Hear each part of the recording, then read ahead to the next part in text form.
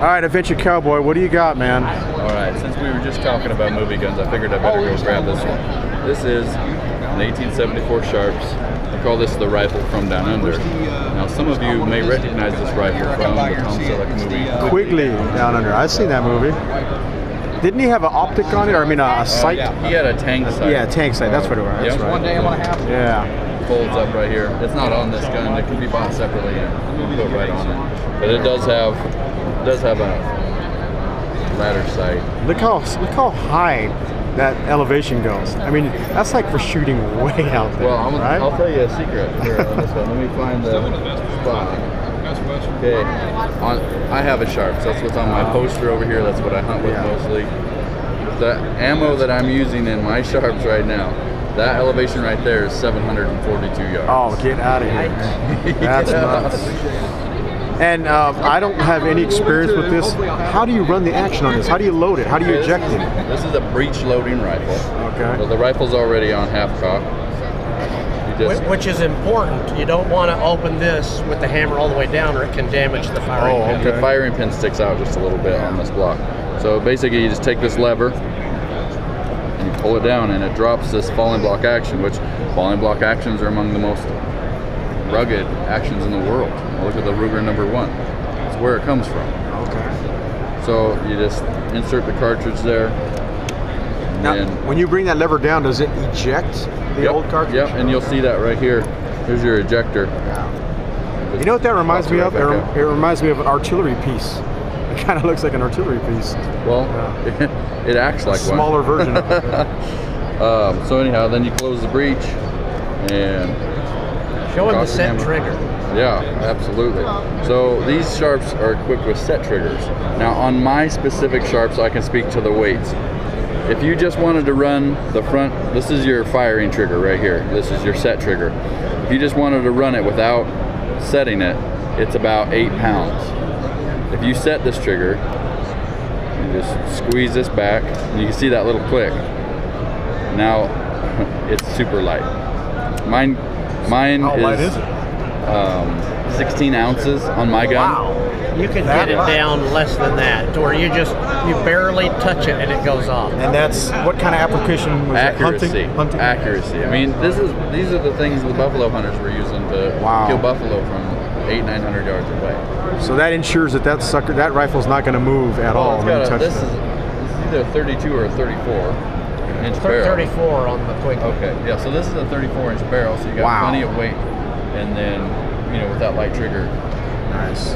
It's like an He, anchor. he's a big guy. He can hold this gun. I have a hard Yeah. time holding this gun up. I It would looks normal on you, but if I held that thing, it would look like, uh, yeah, it would look like a howitzer on. A lot me. of the buffalo hunters had cross sticks Yep. Yes. that they would rest the barrel on. Yeah. Yeah, I'm from a sitting position. I do a lot of my stuff. I like standing up fan shots. Uh, my gun is actually the Billy Dixon model, which comes with a 32 inch barrel. So a little bit shorter barrel, Yeah. but otherwise it's pretty similar. Um, the Quigley does have the patch box on it. Can you flip it over on the other side and see how? Oh, that's a. I'm assuming that's a sling mount, right? It's kind of like a Saddle ring. saddle ring. Oh, yeah. okay. I think that's what they call it as a saddle ring. Yeah. Okay. So that's a cavalry thing that cavalry used Yeah. to run those on. Now you you're Saddle. 4570 in Yeah. yours. Yeah. And then, how much would something like that go for? The Billy Dixon, I believe, I don't know the actual cost on Ballpark, right just ballpark price? Ballpark, you're probably looking at 12, 1300 for Okay. Billy Dixon. Okay, nice. I could be right. Is that in the ballpark? It's uh, it, it depends on who makes the gun. Oh, Since okay. Pedersoli makes ours, and they are primo, they've got really really good barrels, which is extremely important in shooting. Uh, the Billy Dixon retails twenty four hundred. And I bought my gun 10 years ago. Oh wow. yeah, yeah. Yeah. Dealer is you know considerably less, but you're going to end up spending probably at least two thousand for a Pedersoli. Now there's other sharps companies out there, but Pedersoli is right up there with the top. Oh, okay. Awesome. Uh, this So what are we looking at here? This is the 1873. What is this? Your antique finish again, or what, what did you call it? exactly. Original finish or antique finish. This one happens to be a carbine, 19 inch round barrel carbine. So they consider 19 inches a carbine. Well, it's not really the, the the length, although carbines, for the most part, are shorter. It's the round barrel and uh, the style. The carbines have a barrel band here, with either with the sight on it here or the sight could be on the barrel on some originals, but they have the barrel band here, and they have a band around the stock. Uh, what would be considered a rifle are usually octagonal barrels, although they were also round barrel back in the day.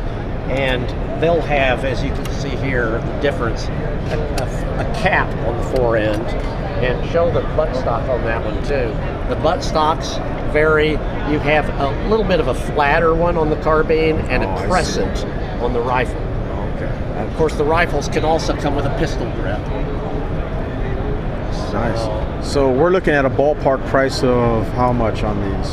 Uh, retail it runs in the like 12 to 14 range. Okay, see, these are over a thousand dollars to get into these for sure. That's Okay. correct. It, it, uh, an 1866 Yellow Boy back here is eh, a little less. You know, maybe a hundred dollars or so less. Like uh, you know, there it, it just it depends again on on you know the ex, which exact one. But these run about a hundred less than the, than the 73s. Now, historically, it was the 1860 Henry, then the 1866 Winchester, which Winchester called this the improved Henry because the Henry you had to load from this end and it had no wooden fore end. So the barrel would get hot. Uh, there was a spring was exposed here, and so dirt and stuff could get in there. Here's a Henry. Oh, I see what you're saying now. How that could get hot. Yeah. And if showing the bottom of it, see the spring in there It's and exposed. this follower, because you load it down at the end. So this Oh, follower, every I time you shoot, it moves down a little. So you got to So watch out for that. You've got to move exactly. So you can't wrap this with leather or anything because that's going to move. Yeah. Correct. So you got to improve it. This that. was this was the improvement. Oh, now nice. this on these barrels on the 66 and 73 we have printed on here King's Patent Improvement. You probably can't even see it. It's very small, but it's King's Patent Improvement and then it has the patent dates. The original Winchester 1866 and 1873s had those markings. Now other people who import these guns they don't have that marking, but we want them to be as authentic as possible.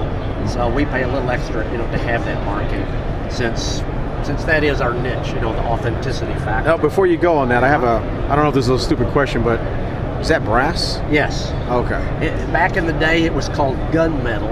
It Uh-huh. was a like a brass bronze alloy.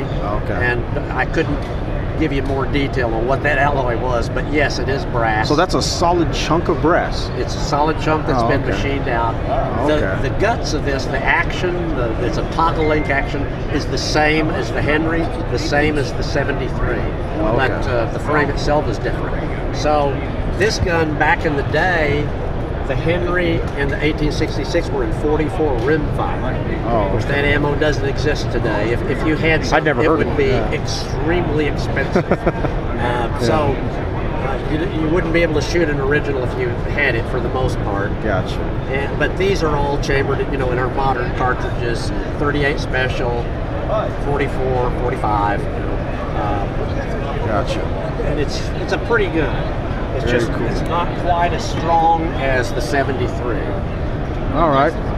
Very cool. There's something I've never seen. before. what movie is this from? This was in Crossfire Trail. Crossfire Trail. Okay, I haven't Tom seen that. I haven't seen that one. It's a, this is a Centennial model. So it's got a really long handguard on it. It's an 1876 Winchester. This some there was an 1873 Winchester that was made that had a long stock like this, a full-length stock, and it was called a musket. Well, oh, some people call this a musket, but actually Winchester called this a carbine, a 76 carbine. That's just that's what they called it, and so that's what it is. Nice. And it, the Centennial model because it came out in 1876. So Uh, if you don't Selleck understand u- why that's yeah. a Centennial, you need to go take a history class. yeah, Tom Selleck used that gun in Yeah. the movie uh, Crossfire Trail. Now, Crossfire Trail. I gotta watch that. It was an excellent movie. It was a made-for-TV movie. Oh, okay. Very good. And actually, there were no reproduction 76s when that movie was made. Yeah. So it was an original that they were using. Oh, nice. This was um, It looks Same big for one- Been in, it uh, looks huge. Tom Horn, I think, is the Steve McQueen movie. Tom Horn. Oh, okay. He used a '76 Centennial model in 4560. So there's another movie gun for you. Very cool. Awesome. So the gun I showed you earlier, the Model 71 that had the 1886 action, that came after this. And this was the big bore gun of its day. But due to overall length, you can't put a 4570 in this action. So John Moses Browning came up with a better mousetrap. Uh, so his action's shorter, but you can put a long cartridge in it. But cool. like this is 4560. Uh, the one next to it is 5095.